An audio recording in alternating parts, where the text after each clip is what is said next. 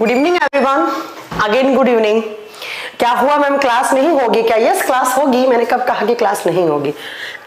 Good evening good evening again good evening तो class कब तक लगेगी? क्लास लग चुकी है already good evening Kapil Kumar. Good evening Ajay Verma. Good evening अच्छा ये नल नाम से जो भी हैं, वो प्लीज़ अपना नाम यहाँ पर टाइप कर दें ताकि अच्छा हो। मोहम्मद वसीम अकरम कह रहे हैं कि, मैम, क्लास छह बज गए हैं। मैंने आपको वहाँ पर आपका छह बजे का नहीं कहा था क्लास का।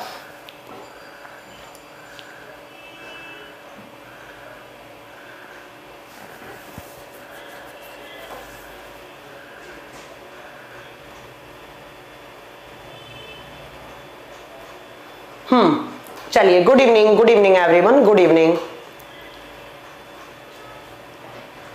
ma'am laptop पे क्लास चल गई है क्या? यस लैपटॉप पे क्लासेस चल गई हैं, आप देख सकते हैं। चलिए तो आज का चैप्टर स्टार्ट करें फिर।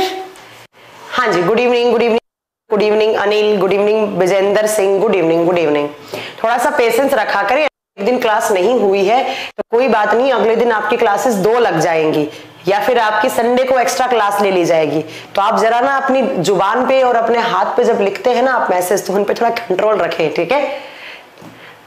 हम्म good evening good evening ma'am मेरा कमेंट भी पढ़ रही, पढ़ लीजिए। गिरीश राम, रामटके, मैंने आपको कमेंट पढ़ लिया है। ठीक है? चलो। हाँ चलिए। तो आपके सामने बोर्ड पे चैप्टर का नाम लिखा हुआ है, बच्चों। कौन सा? चैप्टर का नाम लिखा हुआ है साइटोलॉजी जिसको हिंदी में बोलते हैं आप कोशिका विज्ञान। पहली बार लाइव है ओके बहुत अच्छा। मैम मेरा टाइम्स कोचिंग की वजह से सीजीएल में सिलेक्शन हो गया है। ओके थैंक यू अगर सिलेक्शन हो गया है तो कॉन्ग्रेचुलेशन बहुत बहुत बधाई हो आपको। चलिए तो आपके सामने चैप्टर का नाम लिखा हुआ है साइकोलॉजी बायोलॉजी का चैप्टर है आपका। अभी साइटोलॉजी में आपको क्या पढ़ना है, कैसे पढ़ना है, कैसे पढ़ना है, कैसे क्वेश्चंस आते हैं, वो सब हमें यहाँ पर पढ़ना है। पहली बात तो मैम, साइटोलॉजी होता क्या है?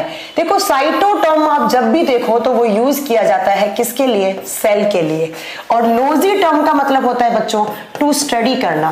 टू स्टडी उस चीज़ के बारे में अध्ययन करना, बता चुकी हूँ मैं। तो साइटोलॉजी में हम किसके बारे में स्टडी करेंगे? तो साइटोलॉजी में हम हम साइटोलॉजी में किसके बारे में स्टडी करेंगे? To study about cell cell के बारे में अध्ययन करना कोशिका विज्ञान या क्या कहलाता है? आप बताएँगे साइटोलॉजी कहलाता है साइटोलॉजी कोशिका विज्ञान कहलाता है। राइट तो हमें यहाँ किसके बारे में पढ़ना है? हमें यहाँ पर मैम कोशिका के बारे में पढ़ना है। कोशिका क्या होती है? कौन कौन से कॉम्पोनेंट से मिलकर बनी होती है? और उन क्या क्या काम होते हैं? उनकी खोज किसने की थी? कैसे हमारा बॉडी में सबसे पहले सेल बना था? यही सब आपको यहाँ पर पढ़ना है। ठीक है? सबसे पहला यहाँ से क्वेश्चन आता है कि who is the father of cytology आपसे पूछा जाएगा कि who is the father of cytology कोशिका विज्ञान के जनक कौन है? कोशिका विज्ञान के जनक कौन है? बता सकते हैं आप फादर ऑफ़ साइटोलॉजी कौन है? ठीक है? तो आप बताएँगे कि फादर ऑफ़ साइटोलॉजी कोशिका विज्ञान के जनक किसको माना जाता है? रॉबर्ट हुक को। किनको माना जाता है? रॉबर्ट हुक को।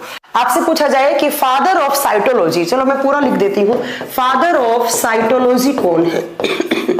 कोशिका विज्ञान के जनक कौन है? आप बताएँगे, मैम, कोशिका विज्ञान के जनक रॉबर्ट हुक को माना गया है। कोशिका विज्ञान के जनक कौन है? रॉबर्ट हुक है। अब क्यों माना गया, कैसा माना गया, कब माना गया, वो सब बताऊँगी मैं धीरे धीरे बस आप तो सुनते जाइए सारे।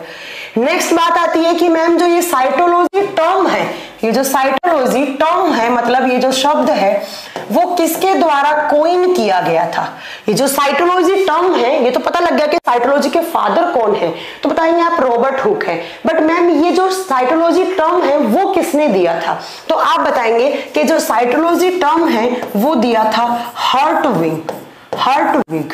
हर्टविग नाम के साइंटिस्ट हैं जिन्होंने कौन सा शब्द दिया था? साइटोलॉजी टर्म्स दिया था।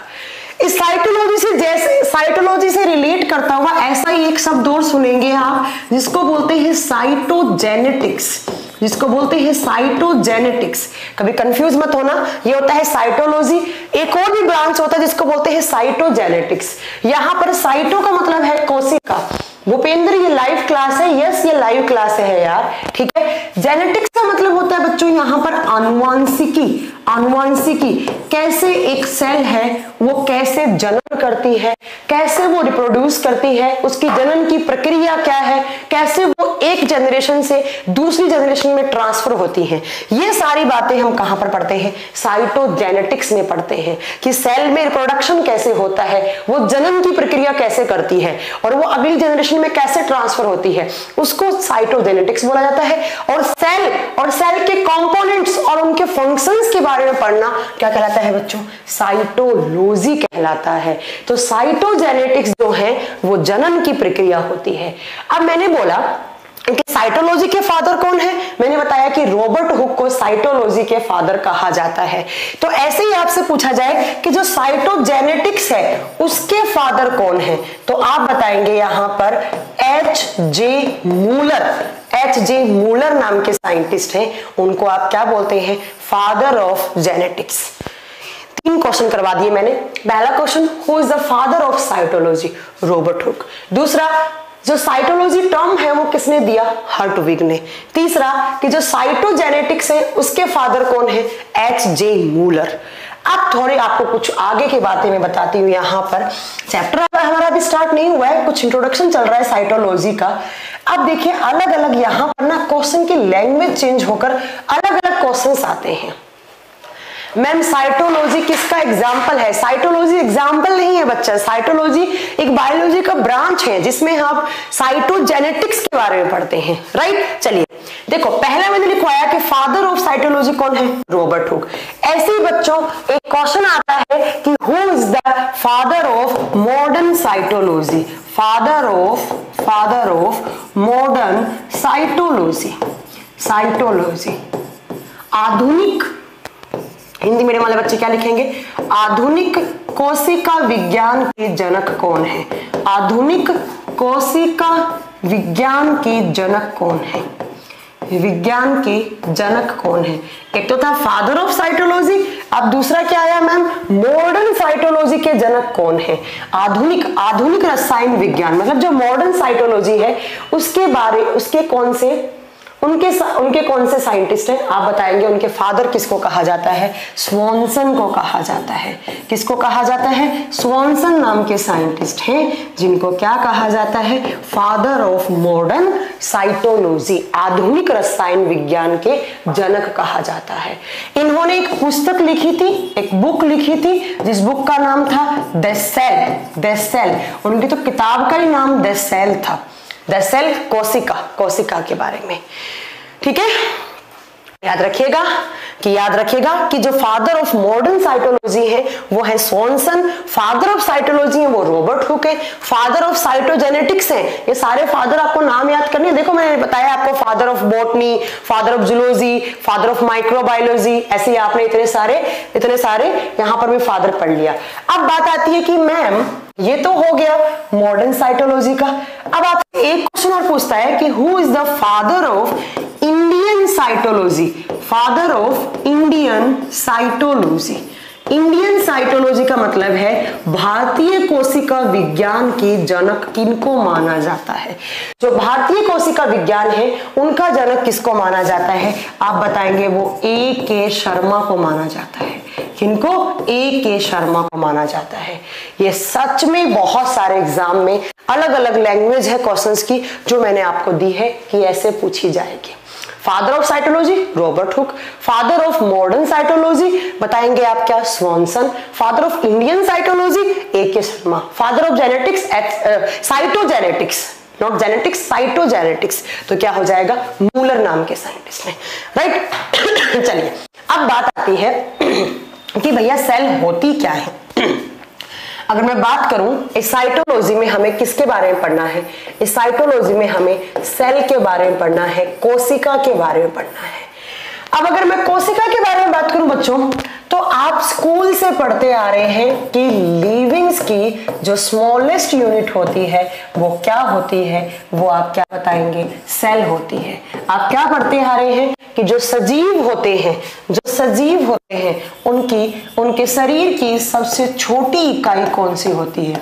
उनके शरीर की सबसे छोटी इकाई किसको माना गया है? आप बताएँगे, सेल को माना गया है। Cell is the smallest unit of life है ना? Cell is the smallest unit of life या आप बोलते हैं cell is the smallest unit of living living का मतलब है जो सजीव है, उनके शरीर की सबसे छोटी इकाई किसको माना गया है? सेल को माना गया है।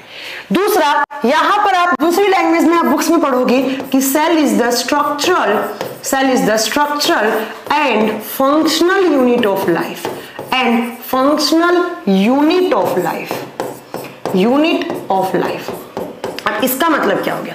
सब बताऊँगी मैं, पहले आप लिख लीजिएगा अपनी कॉपी में। इसको कहा जाता है कि कोशिका शरीर की या लाइफ की जीवन संरचनात्मक और क्रियात्मक इकाई होती है।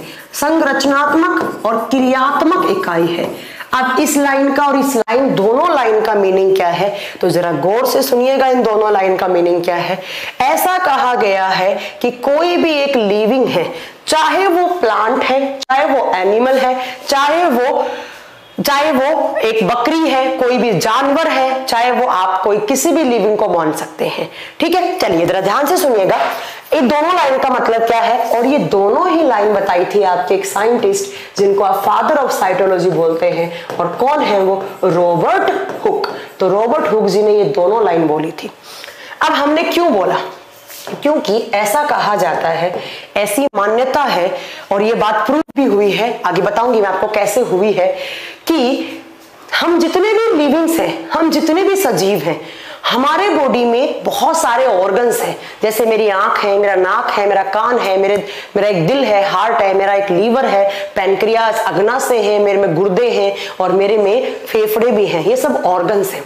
और मेरा बॉडी इन्हीं ऑर्गन से मिलकर बना हुआ है। और ये ऑर्गन्स में सारे दिन रात काम कर रहे हैं। मेरे में दिमाग है, दिमाग खर्च कर रही हूँ पढ़ाने में। आप लोग सुनने में, समझने में खर्च कर रहे हैं अपना दिमाग। तो ऐसा माना गया है कि जितने भी मेरे शरीर में जितने भी ऑर्गन्स हैं, या जितने भी मेरे शरीर के पार्ट्स हैं उनकी जो सबसे छोटी यूनिट होती है, उसको कहा जाता है सेल सबसे पहले जब कोई एक लिविंग बनना स्टार्ट होता है, जब कोई एक सजीव बनना स्टार्ट होता है तो उसमें सबसे पहला सबसे पहला जो एक स्ट्रक्चर फॉर्म होता है, उसको आप नाम क्या देते हैं? उसको आप सेल देते हैं। उसको ऐसे एक सेल बनता है। ऐसे एक सेल बनता है। एक सेल बायोलॉजी में एक सेल को कहा जाता है जाइगोट क्या बनता है यहाँ पे? युग मनज बनता है। हिंदी में बोलते हैं जाइगोट आपसे एग्ज़ाम में पूछ लिया जाए कि सिंगल सेल को क्या कहा जाता है? एक कोशिका को क्या कहा जाता है? आप क्या बताएँगे? एक कोशिका को जाइगोट कहा जाता है। मैम केमिस्ट्री की क्लास क्यों नहीं हो रही है? बच्चों, एक दिन में एक ही क्लास होती है, चाहे वो बायोलॉजी हो, चाहे वो फिजिक्स हो, चाहे वो केमिस्ट्री हो। आप थोड़ा पेशेंस रखें। आप बार बार ये ना बोले कि क्लासेस कब क्या होती है। मैं बता चुकी हूँ, दो घंटे की क्लास होती है आपकी। एक दिन में कल आपका फिजिक्स लगा था, आज आपका बायोलॉजी लगा है। तो प्लीज़ आप पेशेंस के साथ बने रहे और जो पढ़ाया जा रहा है, उस पर ज़्यादा ध्यान दें। धर्मेंद्र धर्मेंद्र धर्मेंद्रवाड़ा पता नहीं जो भी आपका नाम है तो आपका एमपीएससी का एग्ज़ाम है मैंने देख लिया आपका कमेंट तो डोंट वरी मैं कर, मैं अपनी मैं अपना हंड्रेड परसेंट दूँगी। जो बैच का ड्यूरेशन है वो बैच तो उसी में ही कंप्लीट होगा। ठीक है बच्चों फिर भी मैं हंड्रेड परसेंट दूँगी अपना कि जल्दी सिलेबस आपका कंप्लीट हो जाए। राइट चलिए अब पढ़ाने में डिस्टर्ब मत कीजिए आप। देखिए सेल सेल बनी और इसी सिंगल सेल को नाम क्या दिया जाता है बच्चों? जाइगोट नाम दिया जाता है। अब ये सेल क्या करती है? ये अपने आप को डिवाइड करना स्टार्ट कर देती है। ये अपने आप को विभाजित करना स्टार्ट कर देती है और डिवाइड करके ऐसे बहुत सारी सेल्स बना लेती है। ये विभाजित होकर बहुत सारी सेल्स बना लेती है और बहुत सारी सेल्स का एक ग्रुप बन गया, एक समूह बन गया। और जब बहुत सारी सेल्स आपस में जुड़ती है तो सेल्स का ग्रुप क्या कहलाता है? टीसू कहलाता है, उत्तक कहलाता है। तो क्या कहना चाह रही है मैम आप? सेल बना, सेल से, सेल को ही आपने जाइगोट बोना। और जाइगोट आगे डिवाइड होकर बहुत सारी सेल्स बनाता है, जिनको ग्रुप ऑफ़ सेल्स जिनको आप टिश्यूज नाम देते हैं। अब ये टिश्यूज क्या करते हैं? ये टिश्यूज आपस में जुड़ने लग जाते हैं। और जुड़कर ये फॉर्म करते हैं टिश्यू सिस्टम एक तरफ़ एक जैसे टिश्यू दूसरी तरफ़ दूसरे जैसे टिश्यू तीसरी तरफ़ तीसरे जैसे टिश्यू ठीक है? और जब बहुत सारे टिश्यूज आपस में जुड़ते हैं तो आप बोलते हैं कि क्या बन गया? ऑर्गन बन गया, एक अंग बन गया। जैसे लीवर पैनक्रियास हार्ट, किडनी, इतने सारे ऑर्गन्स बन गए। और ये जो ऑर्गन्स हैं, ऐसे ऑर्गन्स का एक ग्रुप जिनमें सिमिलर से काम होते हैं, जिनके फ़ंक्शंस एक जैसे होते हैं तो ये ऑर्गन जब आपस में जुड़ते हैं तो वो बनाते हैं बच्चों। ऑर्गन सिस्टम वो क्या बनाते हैं? ऑर्गन सिस्टम जिसको आप बोलते हैं अंग तंत्र क्या बनाते हैं? अंग तंत्र जैसे आपने बहुत सारे सिस्टम्स के नाम सुने होंगे। Circulatory system digestive system respiratory system skeletal system muscular system nervous system और जब इतने सारे ऑर्गन्स बनते हैं तो क्या बनता है? एक बॉडी बनता है, एक शरीर बनता है। बट ये शरीर कैसा होगा? लिविंग और यही तो मैंने बताया कि लिविंग्स का शरीर किससे बना हुआ होता है? सेल। अगर सेल नहीं होती, ma'am group of tissue group of organ नहीं बनता। ग्रुप ऑफ़ ऑर्गन का मतलब टिश्यूज नहीं बनता। टिश्यू से ऑर्गन नहीं बनते। ऑर्गन से ऑर्गन सिस्टम और ऑर्गन सिस्टम से बॉडी फॉर्म नहीं होता। तो रॉबर्ट हुगजी ने क्या कहा कि भाई, इस जीवन की सबसे छोटी इकाई आप किसको मानना चाहेंगे? सेल को मानना चाहेंगे। दूसरा, क्या कहा कि यही स्ट्रक्चरल एंड फंक्शनल यूनिट है? स्ट्रक्चरल का मतलब होता है संरचनात्मक। यही रचना करने वाली है पूरी की पूरी इस बॉडी की। और फंक्शनल का मतलब होता है कार्यात्मक या क्रियात्मक। कार्य करने वाली, कार्य करने वाली यही काम करती है। जैसे मैंने बोला कि मेरा खून है और मेरा खून का काम होता है ऑक्सीजन ले जाना। खून के अंदर सेल्स होती हैं, वो इम्यून सेल्स भी नाम से जाना जाती हैं। तो खून काम नहीं करता है। खून के अंदर जो सेल्स हैं, वो काम करती हैं। मैंने बोला, मेरा ब्रेन का काम है कंट्रोल एंड कोऑर्डिनेट करने का। तो ब्रेन काम नहीं करता है। मेरे ब्रेन के अंदर सेल्स हैं, वो काम करती हैं। किडनी काम नहीं करता है। किडनी की सेल्स काम करती हैं। फेफड़े काम नहीं करते हैं। फेफड़ों की सेल्स काम करती हैं। तो आप ये कहना चाह रही हैं कि, मैम, हमारे सारे ऑर्गन ऑर्गन्स भी कौन बनाता है? सेल और काम भी कौन करता है? सेल इसीलिए आपने सेल को क्या बोला? Structure and functional unit of life या क्या बोला? स्मॉलेस्ट यूनिट ऑफ़ लाइफ यही आपको पढ़ना है कि कैसे ये ऑर्गन्स फॉर्म करती हैं क्या क्या इसके अंदर कंपोनेंट्स होते हैं, ये सारी चीज़ें आपको यहाँ पढ़नी है। तो सेल को आपने क्या माना है? सबसे छोटी इकाई। चाहे वो प्लांट की हो, चाहे वो एनिमल की हो प्लांट भी क्या होते हैं? लिविंग होते हैं, मैंने बताया है। सेल तो सेल होती है, चाहे वो प्लांट की हो, चाहे वो एनिमल की हो। तो हमें यहाँ पर एक कॉमन सेल पढ़नी है और साथ साथ में हमें प्लांट और एनिमल सेल के बीच के जो डिफरेंस है, वो भी हमें पढ़ने हैं। राइट चलिए, अब बात ये आती है कि मैम इस सेल की डिस्कवरी कैसे हुई? डिस्कवरी ऑफ़ सेल इस सेल की खोज कैसे हुई? डिस्कवरी ऑफ़ सेल कोशिका की खोज कैसे की गई मैम तो इसके पीछे बहुत सारे साइंटिस्ट आए कोशिका की खोज के लिए। अलग अलग साइंटिस्ट जिन्हें अपने अलग अलग विचार रखे कि भाई, मैंने तो डेड सेल देखी है, मैंने जीवित कोशिका देखी है, मैंने मरी हुई देखी है। ऐसे अलग अलग आपके साइंटिस्ट आए। यहाँ पर सबसे पहला नाम आता है कौन से साइंटिस्ट का? सबसे पहला नाम आता है बच्चों, रॉबर्ट हुक का। किस साइंटिस्ट का नाम आता है? रॉबर्ट हुक का नाम आता है। रॉबर्ट हुक जी ने बताया सबसे पहले सेल के बारे में, इन्होंने क्या किया बच्चों? ईयर पूछा एक बच्चे ने तो बच्चा ईयर होता है इन 1665 1665 में रॉबर्ट हुक जी ने क्या किया? कोर्क टिश्यू उठाया। ध्यान से सुनिएगा इस थ्योरी को। क्या उठाया? Cork tissue. अब कोर्क टिश्यू की हिंदी नहीं होती है। अब मैम, ये कोर्क टिश्यू क्या होता है? आपने देखा है? आ, जो पहले के जमाने में जिसमें हम अचार रखते थे जो केंतली होती जो बर्नी होती थी उसके ऊपर ऐसे लकड़ी का सा एक ढक्कन लगा हुआ होता था। या आपने देखा होगा इत्र की बोतल आती है ना उसके ऊपर ऐसे लकड़ी का ढक्कन सा लगा हुआ होता है। या चैंपियन की बोतल तो आपने देखी होगी। चैंपियन की बोतल पे क्या रखा हुआ होता है? एक ढक्कन सा लगा हुआ होता है ना। तो उस ढक्कन को वो जो ढक्कन होता है जिसको आप कैप बोलते हैं वो किसका बना हुआ होता है? वो कोर्क टिश्यू का बना हुआ होता है। वो प्लांट की जो बार्क के नीचे वाला पार्ट होता है बना हुआ होता है। प्लीज़ आप बार बार ये ना नल की आप लाइव क्लास है क्या मैं आपको यहाँ से ब्लॉक करवा दूँगी आप बहुत कमेंट कर रहे हैं, ठीक है? और आप फालतू के कमेंट कर रहे हैं। लाइव हूँ क्या मैं? लाइव हूँ क्या? लाइव हूँ क्या? लाइव हूँ। आप कब ऑनलाइन आए? यस मैं आपका नाम ले रही हूँ, इसका मतलब क्या होता है? इसका नाम, इसका मतलब होता है you are live and I am also live ठीक है? चलिए। तो इन्होंने रॉबर्ट हुक्स ने क्या किया? इन्होंने कोर्क का टिश्यू लिया। और ये कॉर्क टिश्यू को इन्होंने एक अपना खुद का ही एक रूडिमेंट्री पहले के जमाने में, देखो सेल इतनी छोटी होती है, आप उसको नेक डाई से नहीं देख सकते। उसको देखने के लिए आपको इलेक्ट्रो माइक्रोस्कोप की रिक्वायरमेंट होगी। अब 1665 में कहाँ से माइक्रोस्कोप आया होगा? तो इन्होंने क्या किया था? इन्होंने अपना एक खुद का ही एक रूडिमेंट्री जो रूढ़ीवादी एक माइक्रोस्कोप था, जो कांच को पीस पीस के बनाया था इन्होंने, उसके अंदर रखा। तो इनको इस कोर्क टिश्यू में कुछ ऐसी बेंजीन जैसी स्ट्रक्चर दिखी। ये बेंजीन नहीं है। कहीं सोचने लग जाओ मैम बेंजीन पढ़ाने लग गई केमिस्ट्री पढ़ाने लग गई। नहीं, ऐसी बेंजीन जैसी कुछ स्ट्रक्चर्स फॉर्म हुई और ये जो बेंजीन जैसी स्ट्रक्चर थी, इनको जब रखा तो इनको ऐसा लगा कि मैं मधुमक्खी का छत्ता जो होता है, मधुमक्खी का छत्ता देखते हैं आपने? तो मधुमक्खी के छत्ते जैसी इनको स्ट्रक्चर दिखी इसके अंदर, ऐसे। ऐसे मधुमक्खी का छत्ते जैसी स्ट्रक्चर देखी। इलेक्ट्रो माइक्रोस्कोप पे जब रखा तब, इनको मधुमक्खी छत्ते जैसी स्ट्रक्चर रखी और बीच में यहाँ पर ऐसा कुछ स्पेस सा दिखा। ऐसे बीच में इस स्पेस ऐसे रूम से बने हुए दिखे। क्या दिखे ऐसे? रूम बने हुए दिखे इनको।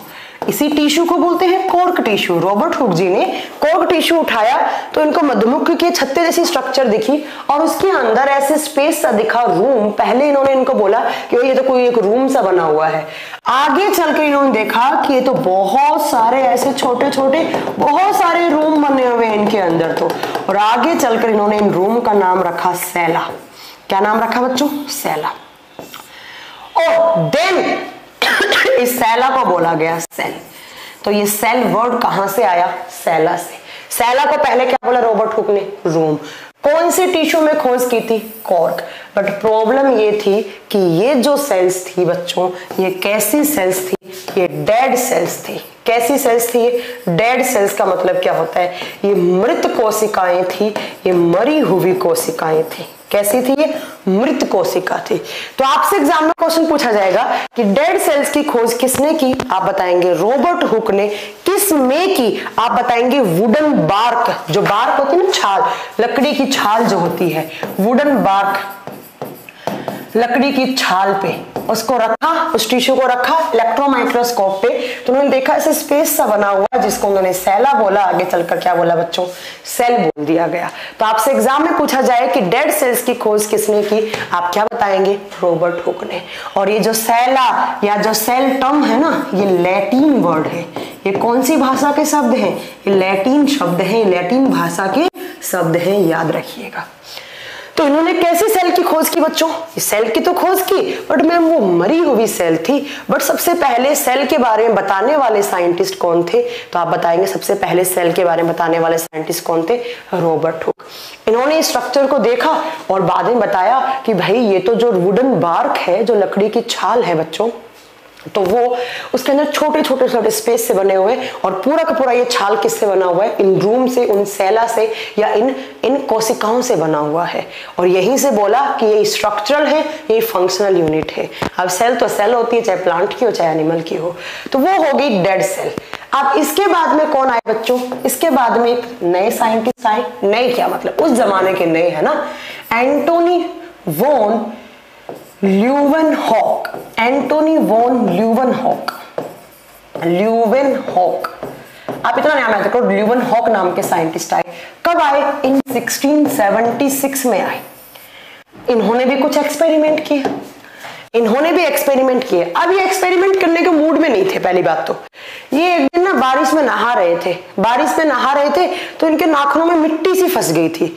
इन्होंने देखा ये कुछ अलग तरीके की मिट्टी है और इस मिट्टी को इन्होंने क्या किया? इन्होंने इस मिट्टी को इलेक्ट्रो माइक्रोस्कोप पे रख दिया। और जब देखा तो ऐसा दिखा, इनको ऐसा दिखा, ऐसा फील हुआ कि इसके अंदर तो बहुत छोटे छोटे पार्ट से घूम रहे हैं। इसके अंदर तो बहुत छोटे छोटे पार्ट से हैं। और आगे चलकर इनको बोला माइक्रोब्स क्या बोला इनको? माइक्रोब्स या सूक्ष्म जीव बोला। और आगे चलकर बोल दिया उनको कि ये क्या है इस मिट्टी के अंदर? ये बैक्टीरिया है। बैक्टीरिया और कुछ बुक्स में तो ऐसा भी लिखा हुआ होता है कि ये दांत के ऊपर आपकी जो खुरचन सी लगी हुई होती है दांत का तो उस दांत की सेल्स को रखा और उस दांत की सेल्स के अंदर बैक्टीरिया लगे हुए थे, जिसको टीथ बैक्टीरिया दांत वाले जीवाणु कहते थे। ठीक है? तो याद रखिएगा और बैक्टीरिया क्या होता है? आप सब जानते होंगे बैक्टीरिया कैसी सेल है? बैक्टीरिया एक लिविंग सेल है, कहने का मतलब एक जीवित कोशिका है। तो आपसे एग्ज़ाम में क्वेश्चन पूछा जाए कि डेड सेल की खोज किसने की? Robert Hooke in 1665 living cell की खोज किसने की? एंटोनी वोन ल्यूवन हॉक इन 1676 पहला लिविंग सेल कौन सा था? बैक्टीरिया ठीक है? तो ये आपका एंटोनी वोन ल्यूवन के बारे में कुछ बातें हो गई जो आपको पता होनी चाहिए। तो दो बातें हमारे सामने निकल के आ गई कि cell is the basic unit of life और cell structural and functional unit होती है हमारे लाइफ की। अब इन दोनों की खोज हो गई। अब मैं इसके अलावा मैं बताऊँ तो ये जो ल्यून हॉक है ना बच्चों, इन्होंने बहुत काम किया बायोलॉजी की फ़ील्ड में और स्पेशली माइक्रोबायोलॉजी की फ़ील्ड में काम किया है। देखो इन्होंने क्या क्या काम किया है। इन्होंने बैक्टीरिया की खोज की। इन्होंने स्पम सेल्स की खोज की। आप सब जानते हो स्पम सेल्स क्या होते हैं? मेल गैमेट्स होते हैं। शुक्राणुओं की खोज आपसे एग्ज़ाम में पूछी जाए कि किसने की? आप क्या बताएँगे? ल्यूवन हॉक ने की। नेक्स्ट आपसे पूछा जाए कि आपसे पूछा जाए कि जो आरबीसी है, उसकी खोज किसने की? आप बताएँगे एंटोनी वोन ल्यूवन हॉक ने की। इसके अलावा मैं बता दूँ यहाँ पर कि इन्होंने प्रोटोजोवा की खोज भी की थी। इन्होंने प्रोटोजोवा की भी खोज की थी। बहुत काम किया है एंटोनियो बॉन ल्यूवकॉक ने आपसे एग्ज़ाम में पूछ लिया जाए। देखो, चार क्वेश्चन। एक के साथ चार क्वेश्चन आपको मुफ़्त मिलने वाले हैं। कौन कौन सा? शुक्राणुओं की खोज किसने की? ल्यूवन हॉक ने। पहला बैक्टीरिया किसने खोजा? ल्यूवन हॉक ने। आरबीसी किसने खोजा? ल्यूवन हॉक ने। प्रोटोजोवा किसने खोजा? ल्यूवन हॉक ने। इसके अलावा इनकी एक बुक भी आई थी जो जो बहुत ज़्यादा फ़ेमस हुई थी। ल्यूवन हॉक जी ने एक पुस्तक भी लिखी थी। मैम नोट करने दीजिए। बेटा नोट आप बाद में वीडियो देख के कर सकते हैं, आप नोट्स बना सकते हैं। इसके अलावा इन्होंने एक बुक भी लिखी थी, जिसको बोलते हैं, इनकी बुक का नाम कभी पूछ लिया जाए तो इन्होंने बुक लिखी थी secrets of nature secrets of nature Hindi में इसका कोई नाम नहीं है, आप इंग्लिश में ही याद करना पड़ेगा। इनकी बुक का नाम था सीक्रेट्स ऑफ़ नेचर तो ये बुक कभी एग्ज़ाम में आ जाए कि भाई सीक्रेट्स ऑफ़ नेचर किसकी है? ल्यूबन हॉक द्वारा लिखी हुई पुस्तक है। एंटोनी वॉन ल्यूबन हॉक द्वारा लिखी हुई पुस्तक है। राइट चलो, इतने सारे क्वेश्चन हो गए आपके। अब देखिए धीरे धीरे लोगों को ये बात फील होने लग गई देखो, पहले के जमाने में ना लोग अनपढ़ अनपढ़ होते थे, उन्हें पता नहीं होता था सेल क्या होती है। तो उस जमाने में ना लोग बोलते थे कि जो निर्जीव चीज़ है, उनसे ही सजीव बनी हुई है। जो नॉन लिविंग चीज़ें होती है, उनसे लिविंग बन जाती हैं।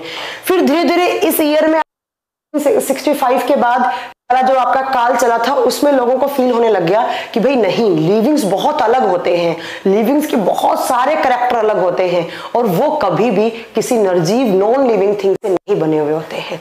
बाद में आई यहाँ पर एक सेल थ्योरी नाम करके एक छोटा सा चैप्टर आया आपका, जिसको आप बोलते हैं कोशिका सिद्धांत। एक सिद्धांत दिया गया, जिसको आप बोलते हैं कोशिका सिद्धांत, या आप इसको बोल सकते हैं कोशिकावाद या इसको बोलते हैं कौशिकावाद। एक सिद्धांत आया, जिस सिद्धांत में कुछ बातें ऐड की गई। हम्म। इस सिद्धांत में कुछ बातें ऐड की गई। क्या क्या बातें ऐड की गई तो जरा ध्यान से सुनिएगा। एक क्वेश्चन आता है एग्ज़ाम में कि सेल थ्योरी किसने दी थी? तो आपके पास यहाँ पर बहुत सारे ऑप्शन में, ऑप्शन आते हैं। अब आपको कौन सा आंसर सही करना है तो जरा ध्यान से सुनिएगा कि यहाँ पर 1839 में, ये बात थी 1839 में, दो साइंटिस्ट आए थे स्केलेडन एंड स्वोन कौन कौन से? स्केलेडन एंड स्वोन यस आपने बिल्कुल सही लिखा है Rahul Raj. Schleiden and Schwann Hindi में सैलडन एंड स्वोन ही लिखा जाएगा। सैलडन एंड स्वोन जो स्वोन थे, वो बोटनी की ब्रांच में इन्होंने बहुत काम कर रखा था। इन्होंने, इनको ना बोटनी की ब्रांच में बहुत सारे अवार्ड्स भी मिले हुए हैं। ये एक बोटनी की ब्रांच में बहुत सारे बहुत एक जाने माने साइंटिस्ट थे। और जो सेल्डन थे, जो आपके स्केलेडन हैं, वो कौन थे? वो एक जूलॉजिस्ट थे। ये बोटनीलॉजिस्ट थे और ये एक जूलॉजिस्ट थे। इन्होंने जूलॉजी की ब्रांच में बहुत सारा काम किया था।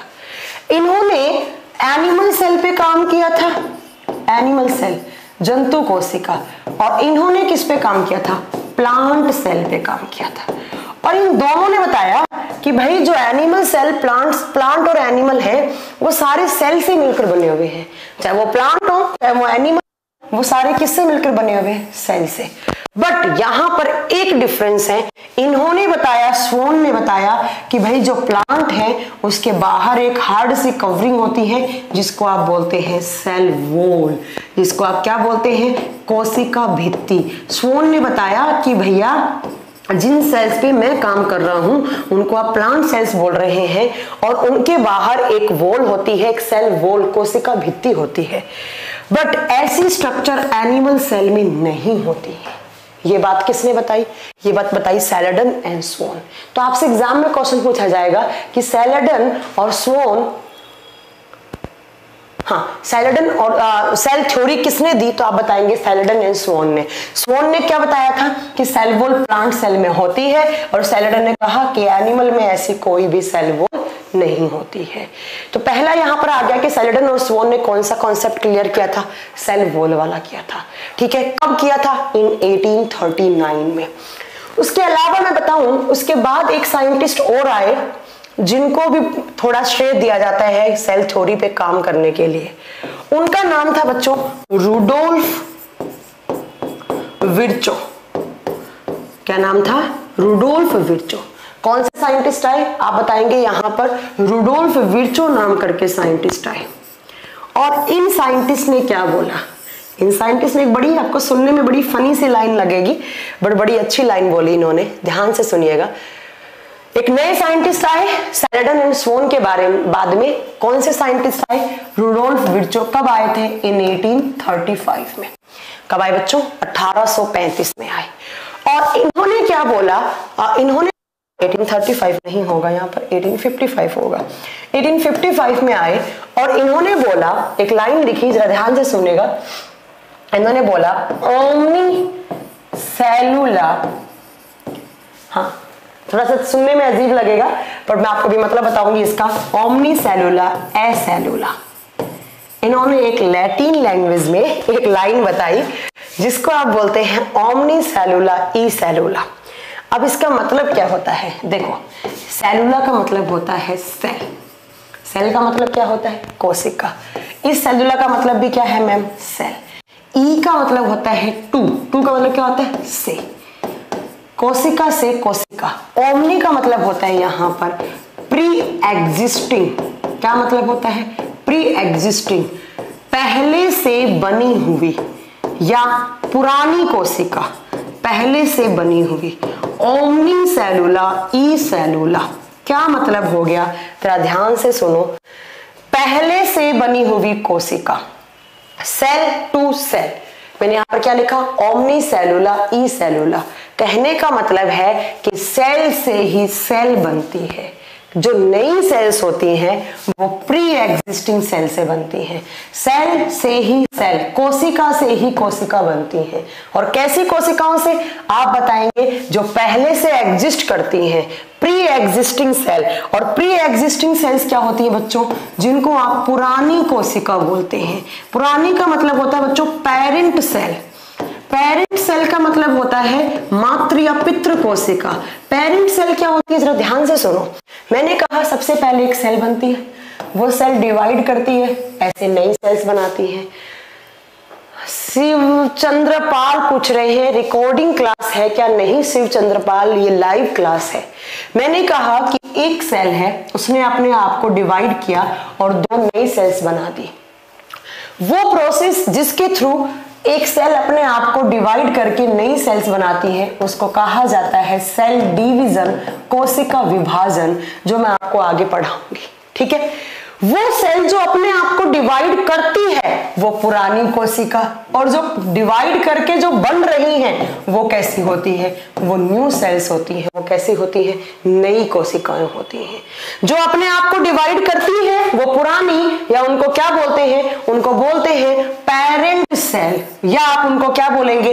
प्री एग्जिस्टिंग सेल्स पहले से बनी हुई कोशिकाएँ। तो जो प्री एग्जिस्टिंग सेल्स थी, उन्होंने ही क्या बनाई है? न्यू सेल्स बनाई हैं, नई कोशिकाएँ बनाई हैं और नई कोशिकाओं को आप नाम क्या देते हैं? डोटर सेल्स क्या नाम देते हैं बच्चों? डोटर सेल्स या हिंदी में बोलते हैं पुत्री कोशिकाएँ। तो आप क्या कहना चाह रही हैं, मैम? जरा ध्यान से सुनो, क्या निकल के आया इस सेल थ्योरी में, जो किसने दी थी? रोडोल्फ विर्चो ने दी थी। क्या कहा था? ओमनी सेलुला ए सेलुला हमेशा पहले से बनी हुई कोशिका से ही नई कोशिकाएँ बनती हैं। प्री एग्जिस्टिंग सेल से न्यू सेल्स बनती हैं। All the new cells are arises, all the new cells arises from pre-existing cells pre existing cells को क्या बोलते हैं आप? पेरेंट सेल नई सेल्स को क्या बोलते हैं आप? डॉटर सेल्स कितनी लाइन पढ़ ली आपने? Cell is the basic unit of life दूसरा cell is the structural and functional unit of life तीसरा प्लांट में कोशिका होता है, जंतुओं में नहीं होता है। चौथा, जो प्री एग्जिस्टिंग सेल्स होती हैं, वो वो क्या बनाती हैं? डॉटर सेल्स बनाती हैं। कितनी लाइन होगी? चार। और ये जो चारों लाइन है ना बच्चों, इनको ही बोलते हैं सेल थ्योरी इनको क्या बोलते हैं आप? सेल थ्योरी कोशिका सिद्धांत बोलते हैं। बट ऐसा माना गया है कि जो सबसे अच्छी लाइन बोली थी, वो सैलडन और स्वोन ने बोली थी। तो आपके पास एग्ज़ाम में कभी क्वेश्चन आए कि सेल थ्योरी किसने दी थी? आप क्या बताएँगे? सैलडन और स्वोन ने दी थी। ठीक है? ये बच्चे क्या बोल रहे हैं? रिकॉर्डेड क्लास है क्या? आपको तो मुझसे पढ़ने से मतलब है, चाहे वो रिकॉर्ड की हुई है, चाहे वो लाइव हो। ठीक है? चलिए। तो आपसे पूछा जाए सेल थ्योरी किसने दी थी? आप बताएँगे सेलेडन और स्वोन ने। और कितनी सारी लाइनें लिखेंगे आप अपनी कॉपी में? पहला लाइन लिखेंगे cell is the basic unit of life दूसरा क्या लिखेंगे? Cell is the structural and functional unit of life तीसरा प्लांट्स में सेल वॉल पाई जाती है एनिमल्स में सेल वॉल नहीं होती है। और जितने भी प्री एग्जिस्टिंग सेल्स होती हैं, वो किससे बनती हैं? उसे, वही क्या बनाती हैं? नई सेल्स बनाती हैं। ये लो, ये हो गया आपका सेल थ्योरी अब बात आती है आपको कुछ की पॉइंट्स लिखने की। कुछ कुछ आपको पॉइंट्स लिखने हैं जो आपको एग्ज़ाम में डायरेक्टली पूछे जाते हैं आपसे। क्या क्या पूछे जाएँगे? मनीष कुमार बहुत देर से बोल रहे हैं कि, मैम, आप दो मिनट वेट कीजिए। दो मिनट हमें लिखने का मौका दीजिए। मनीष, आपको मैं बता दूँ, ये वीडियो आप कितनी भी बार देखिए, आपके पैसे नहीं लगेंगे। तो आप दूसरी बार देख के नोट्स बना सकते हैं बच्चा। क्योंकि अगर मैं स्पीड स्लो रखूँगी तो फिर सिलेबस नहीं हो पाएगा ना टाइम पर। फिर आप लोग बोलेंगे मैम सिलेबस नहीं हुआ है। तो ये आप बोलने लग जाएँगे। तो प्लीज़ आप थोड़ा सा पेशेंस रखें।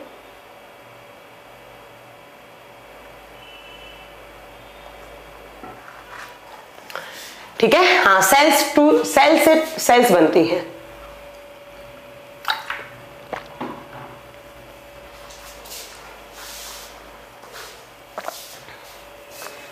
चलिए, अब की पॉइंट्स में हम क्या क्या लिख रहे हैं? सबसे पहला पॉइंट आता है बच्चों, कि smallest cell of universe smallest cell of universe और हिंदी में क्या लिखेंगे? संसार की सबसे छोटी कोशिका।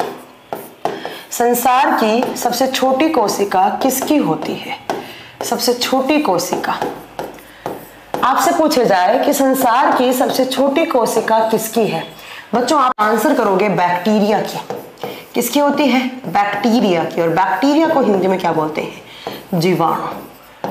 आपसे पूछा जाए कि इस दुनिया में सबसे छोटी सेल, लिविंग की बात कर रहे हैं बच्चों, ठीक है? उसकी सेल सबसे छोटी किसकी होती है, आप बताएँगे? बैक्टीरिया की।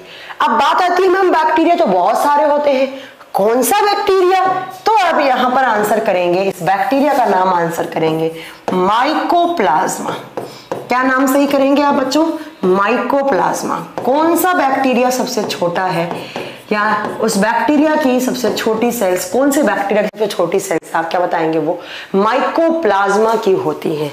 मैम, कितनी छोटी होती है? 0.1 टू 0.5 माइक्रोमीटर की होती है। 0.1 टू 0.5 माइक्रोमीटर की होती है। अब मैं आपको बता दूँ कभी कभी एग्ज़ाम में आता है कि स्मॉलेस्ट सेल ऑफ़ यूनिवर्स किसकी होती है? वहाँ पर ऑप्शन में माइकोप्लाज्मा नहीं होता है, क्योंकि इसका एक नाम और होता है। सॉरी क्या नाम होता है? इसका नाम होता है बच्चों P P L O P P L O ठीक है? जरा ध्यान से रखिएगा। इसका नाम होता है पी पी एल ओ और इसकी फुल फॉर्म होती है poly pleuro pneumonia poly pleuro pneumonia like organisms poly pleuro pneumonia like organisms अब हिंदी मीडियम वाले बच्चे परेशान होंगे कि मैम इसका हिंदी में नाम क्या होगा? बच्चों, आप कोई सी भी बुक उठाकर देख लेना, इसका हिंदी कुछ होता ही नहीं है। आपको यही मिलेगा। पी पी एल ओ इसका दूसरा नाम है पोली प्लूरोनोमोनी लाइक ऑर्गेनिजम्स किसका दूसरा नाम है? इस बैक्टीरिया का। और कौन सा बैक्टीरिया? जो सबसे छोटा बैक्टीरिया है। या इसका फुल फॉर्म राहुल राज, आपने बिल्कुल सही बताया। माइकोप्लाज्मा गेरिस्पेक्टम भी कहा जाता है इसको। ठीक है, चलिए। तो ये याद रखिएगा। अब मैं आपको बता दूँ दूसरा, कि इसका एक नाम और भी होता है। उस नाम से भी आ सकता है अब इसका मैम एक नाम और भी है। कितने सारे नाम होते हैं? आप बताएँगे इसके तीन नाम होते हैं। तीसरा नाम होता है एम एल ओ अब मैम, ये एम क्या होता है? आप बताएँगे एम एल ओ का मतलब होता है molecule like organisms molecule like organisms molecule like organisms तो आपसे पूछे, इस ब्रह्मांड में, इस यूनिवर्स में सबसे छोटी लिविंग सेल किसकी है? बैक्टीरिया उसका नाम माइकोप्लाज्मा उसका नाम पीपीएलओ उसका नाम एमएलओ कितनी छोटी? 0.1 टू 0.5 माइक्रोमीटर की. अब बच्चों, मैं आपको कुछ बातें और बताना चाहूँगी इस माइकोप्लाज्मा के बारे में, जो एग्ज़ाम में पूछी जाती हैं। इस माइकोप्लाज्मा को क्या कहा जाता है? इसके दो नाम होते हैं। ध्यान से सुनिएगा।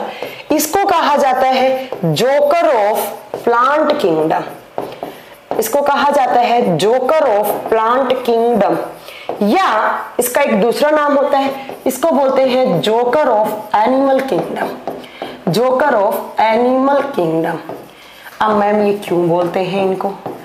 प्लांट का जोकर या पादप वर्गीकरण का जोकर और जंतु वर्गीकरण का जोकर कहा जाता है। पहली बात इसको जोकर क्यों बोला है? प्लांट एनिमल में तो बात की बात है? ठीक है? इसको जोकर क्यों बोला है? आपने देखा होगा कि जो जोकर होता है, वो हंसाने के लिए अपना फेस का एक्सप्रेशन बार बार चेंज करता रहता है। मेकअप वेकअप करके आता है, जिससे बच्चों को हँसी आए। वैसे ही ये जो प्लांट ये जो माइकोप्लाज्मा है सॉरी ये जो बैक्टीरिया है ये अपना आकार, अपना एक्सप्रेशन बदलता रहता है। इसके शरीर के जो एक्सप्रेशन है ना, वो बहुत जल्दी कुछ नैनो सेकेंड्स में चेंज होते जाते हैं। जोकर की तरह। जैसे जोकर अलग अलग फेस में आता है, वैसे इसका शरीर भी अलग अलग फेस में रहता है। ठीक है? तो इसको आपने जोकर बोला है। अब इसको प्लांट किंगडम का जोकर क्यों बोला था? क्योंकि बच्चों पहले टू किंगडम क्लासिफिकेशन आया था। सबसे पहले जब इन एनिमल्स को या जब इन लिविंग्स को अलग अलग कैटेगरी में डिवाइड करना स्टार्ट किया गया तो सबसे पहले आया था दो किंगडम जिसमें एक था प्लांट और एक था एनिमल जब टू किंगडम क्लासिफिकेशन आया था, द्विजगत वर्गीकरण आया था, जिसमें हम लिविंग्स को दो भागों में बांट रहे थे, कुछ थे प्लांट कुछ थे एनिमल तो तब क्या किया गया था? इस इन बैक्टीरियाज को कहा रखा गया था? इन बैक्टीरिया को रखा गया था प्लांट किंगडम में। कहा रखा गया था बच्चों? आपसे पूछा जाए कि जब टू किंगडम क्लासिफिकेशन आया था, तब बैक्टीरिया को कहाँ रखा गया था? आप बताएँगे, उन बैक्टीरिया को शाहीना, सोनी, मैम, क्या मैं लाइव हूँ? प्लीज़ बोलिए, मैं आपकी क्लास की बहुत बेसब्री से वेट करती हूँ। ये साहिमा यू आर लाइव और मैं आपका नाम पढ़ पा रही हूँ। तो जब टू किंगडम क्लासिफिकेशन आया था बच्चों तो इन बैक्टीरिया को कहाँ रखा गया था? प्लांट किंगडम में। इसलिए इनको क्या बोल दिया गया था? जोकर ऑफ़ प्लांट किंगडम पादप जगत का जोकर के पादपों में एक ऐसा पादप है। हालाँकि वो बैक्टीरिया था, जो अपने एक्सप्रेशन अपने बॉडी के एक्सप्रेशन जोकर की तरह चेंज करता देन इन बैक्टीरियाज को यहाँ से रिमूव कर दिया गया था और एक अलग से किंगडम बनाया गया था, जिसको आप बोलते हैं मोनेरा जिसको आप बोलते हैं मोनेरा किंगडम कौन सा किंगडम तो इसको कहाँ रखा गया था बच्चों? बाद में इसको मोनेरा बोला गया था और ऐसा कहा गया था कि इसकी जो कैरेक्टर्स हैं, वो एनिमल से भी कुछ कुछ सिमिलर हैं, इसलिए हमने इसको जोकर ऑफ़ एनिमल किंगडम कहा दिया। तो आपसे एग्ज़ाम में क्वेश्चन पूछा जाएगा कि इसको कौन से किंगडम में इसको कौन से फाइलम में रखा सॉरी किंगडम फाइलम नहीं होगा यहाँ पे. इसको कौन से किंगडम में, किसको? माइकोप्लाज्मा का किंगडम कौन सा है? माइकोप्लाज्मा का वर्गीकरण कौन सा है? इसको कौन से किंगडम में रखा गया है? आपका आंसर क्या होगा? मोनेरा में रखा गया है. पहले किसमें रखा गया था बच्चों? प्लांट किंगडम में. इसलिए हमने इसको क्या बोला था?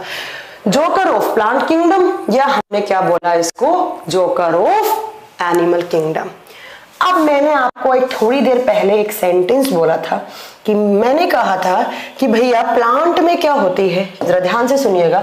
ये प्लांट है। और आप इस प्लांट को, इस प्लांट की सेल को उठाओगे ना बच्चों, जब इसकी कोशिका को उठाओगे तो इसके अंदर सबसे आउटर में एक आपको ऐसे कवरिंग बनी हुई दिखाई देगी। और इस कवरिंग को बच्चों आप क्या नाम दोगे? इसको आप सेल वोल दोगे नाम इसको क्या नाम दोगे? इसको कोशिका भित्ति का नाम दोगे, सेल वोल का नाम दोगे। तो ऐसा कहा गया था कि प्लांट की जो कोशिका है, उसके बाहर एक भित्ति बनी हुई है जिसको आप सेल वोल बोलते हैं। तो यहाँ पर मैंने एक सेंटेंस बोला बच्चों कि पहले टू किंगडम क्लासिफिकेशन में बैक्टीरिया को कहाँ रखा गया? प्लांट में। बाद में एक्सपेरिमेंट किए गए और पता लगा बैक्टीरिया में तो सेल वॉल होता ही नहीं है। कि जो बैक्टीरिया होते हैं तो इनमें इनके अंदर सेल वॉल कुछ बैक्टीरियाज हैं, उनके अंदर सेल वॉल होता है और कुछ बैक्टीरियाज में होता ही नहीं है। कुछ में होता है, कुछ में नहीं होता है। तो फिर आपने इसको कहा आपने फिर यहाँ पर क्यों रखा? स्पेशली जो माइकोप्लाज्मा है बच्चों, वो एक ऐसा बैक्टीरिया है जिसके अंदर सेल वॉल नहीं होता। जिसके अंदर क्या नहीं होता? कोशिका भित्ति नहीं होता। ठीक है? तो आप याद रखिएगा कि माइकोप्लाज्मा के अंदर आपसे पूछ लिया जाए कभी एग्ज़ाम में कि सेलवोल होता है क्या? माइकोप्लाज्मा में कोशिका वृत्ति होता है क्या? आप क्या बताएँगे बच्चों?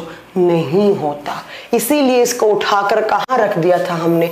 मोनेरा किंगडम में रख दिया था। तो मैम आप ये बताना चाह रही हैं, मैम आप ये बताना चाह रही हैं कि जो माइकोप्लाज्मा वो एक ऐसा बैक्टीरिया जिसके अंदर सेल वॉल नहीं है और वो सबसे छोटा बैक्टीरिया है। यस मैं यही बताना चाह रही हूँ। तो मैम, आप बोल रही है दूसरी साइड की कुछ ऐसे बैक्टीरिया जिसमें सेल वॉल होती है। यस तो मैम, उनमें सबसे छोटा कौन सा होना चाहिए? कहने का मतलब है, ऐसा बैक्टीरिया जिसके अंदर सेल वॉल नहीं होती और वो सबसे छोटा है, कौन सा? माइकोप्लाज्मा और ऐसा बैक्टीरिया जिसके अंदर सेल वॉल होती है और वो छोटा है तो वो कौन सा है? तो जरा लिखिएगा नेक्स्ट कि आप एक नाम लिखेंगे, बड़ा सा नाम है जिसको बोलते हैं, डायलिस्टर। सुहानी ने बहुत बड़ा मैसेज किया है। मैम, आप बता नहीं सकती कि मुझे आपसे कितना प्यार करती हूँ, मैं आपसे। मैं कॉमर्स की स्टूडेंट हूँ, पर मैम, यूपीएससी का प्रिपरेशन कर रही हूँ, साइंस अच्छे से समझ रही हूँ। I love you ma'am. Ma'am, आपका ऑफलाइन वीडियो देखती हूँ, कॉमेंट्स के चक्कर में वीडियोज़ मिस हो जाता है, समझने में आज भी बहुत खुश हूँ। Shivani thank you very much अगर आपको मेरा पढ़ाया हुआ अच्छा लगता है तो। ठीक है, चलिए। तो आप नेक्स्ट लिखेंगे यहाँ पर नेक्स्ट बैक्टीरिया का नाम लिखेंगे डायलेस्टर न्यूमिनोसिटेस्ट नेक्स्ट लिखेंगे डायलेस्टर न्यूमिनोसिस्टस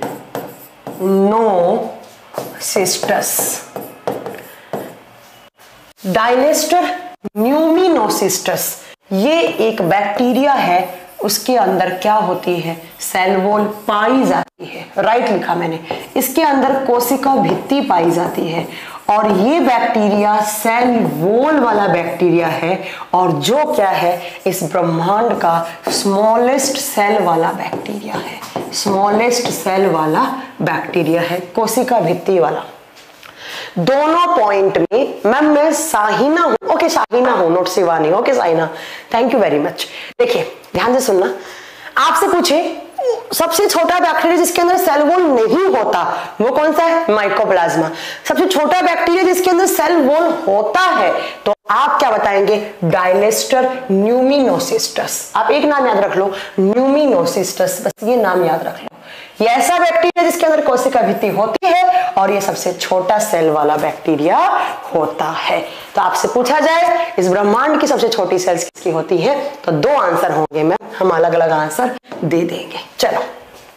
नेक्स्ट आता है largest cell of universe next क्या आता है? लार्जेस्ट सेल ऑफ़ यूनिवर्स संसार की सबसे बड़ी कोशिका किसकी होती है बच्चों? संसार की सबसे बड़ी कोशिका। और इस संसार की जो सबसे बड़ी कोशिका है बच्चों, वो किसकी होती है? वो एक सुतुरमुख का अंडा होता है। आप इसको लिख सकते हैं ऑस्ट्रिच सेल। या आप इसको लिख सकते हैं ऑस्ट्रिच एग। मैम, क्या दोनों में डिफरेंस नहीं है? नहीं। क्योंकि जो अंडा होता है वो एक सेल होता है।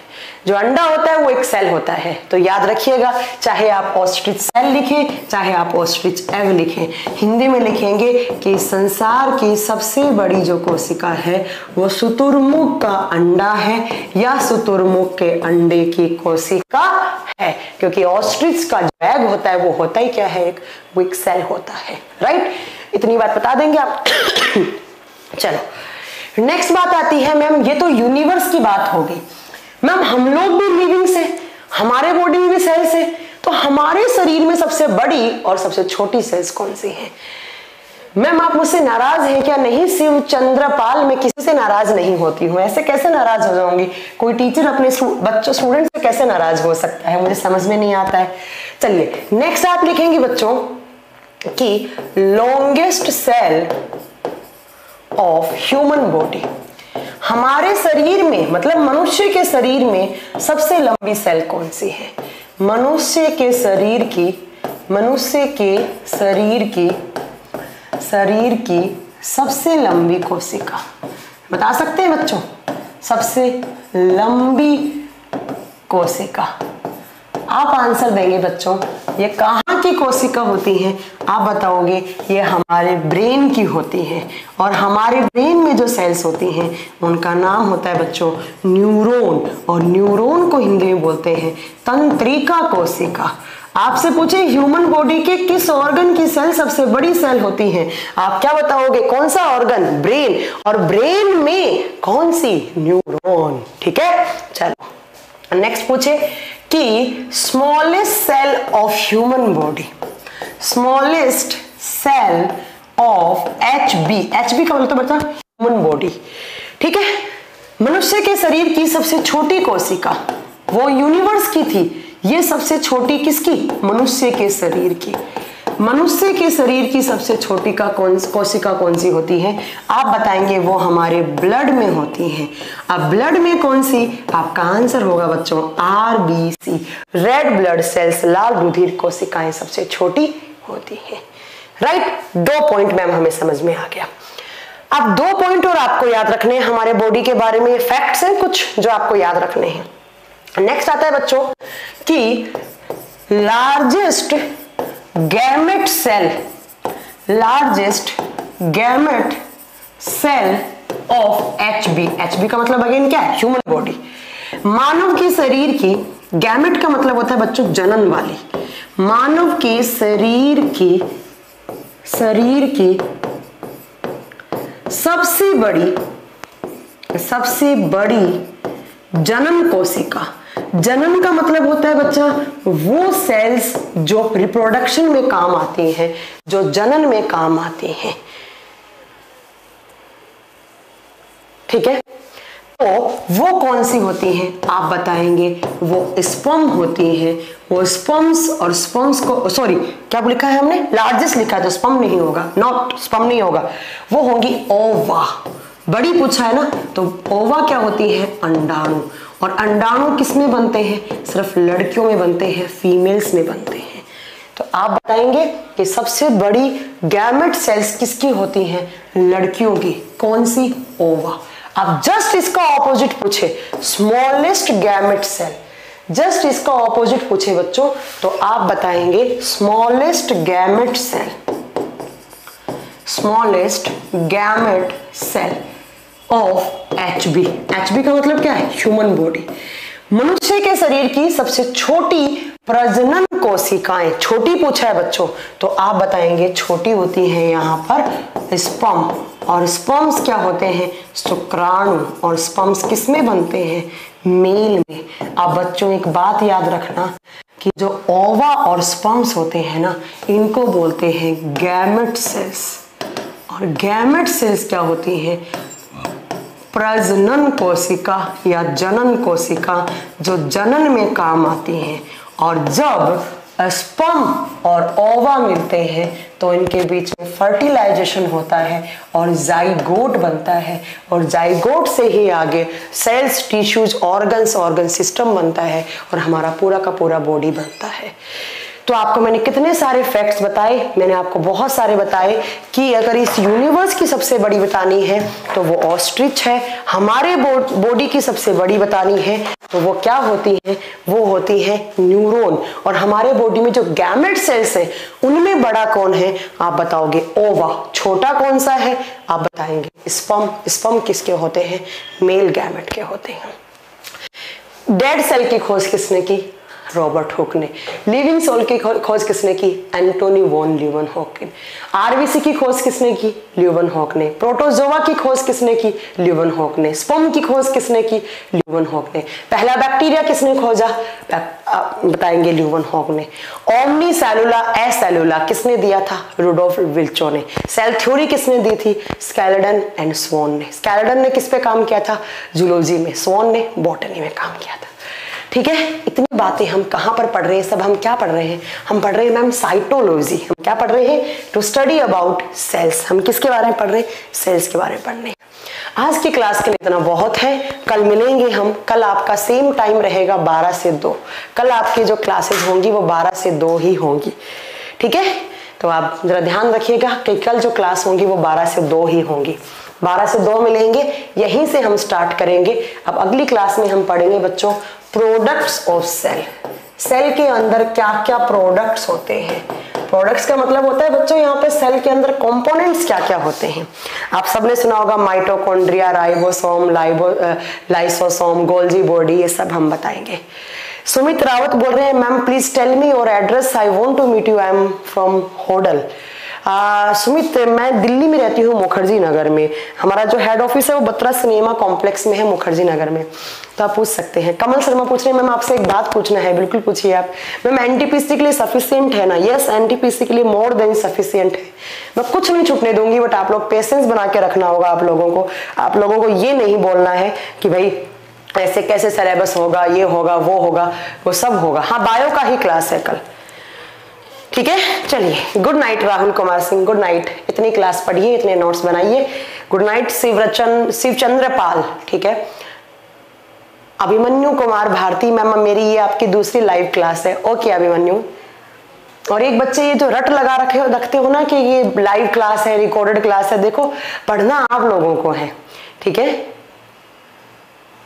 पढ़ना आप लोगों को है, चाहे वो रिकॉर्डेड क्लास हो, चाहे वो लाइव क्लास हो, चाहे वो ऑफलाइन हो, चाहे वो ऑनलाइन हो, ठीक है? तो मैं बिल्कुल एकदम सेम कंटेंट पढ़ाती हूँ, चाहे वो रिकॉर्डेड क्लास हो, चाहे वो लाइव हो, पढ़ना आपको है, ठीक है? चलिए धीरेन्द्र जी, आपका मैंने नाम ले लिया है। राहुल कुमार सिंह पूछ रहे हैं, मैम, सीजीएल का बैच कब आएगा? बहुत जल्दी आएगा। मैम, आप जयपुर में कहाँ से हैं? वैशाली नगर से हूँ। मैम, आप पढ़ाते हैं तो बहुत अच्छा लगता है। ओके, लालू कुमार। चलिए चलिए, फिर आप मिलेंगे अगली क्लास में। मैम एन बट एग्ज़ाम से पहले कंप्लीट होगा ना? यस एग्ज़ाम से पहले होगा डोंट वरी आप एनटीपीसी की डेट आने दीजिए, अगर ज़्यादा लगेगा दो दो क्लास स्टार्ट कर देंगे, कोई बात नहीं है। Thank you very much good night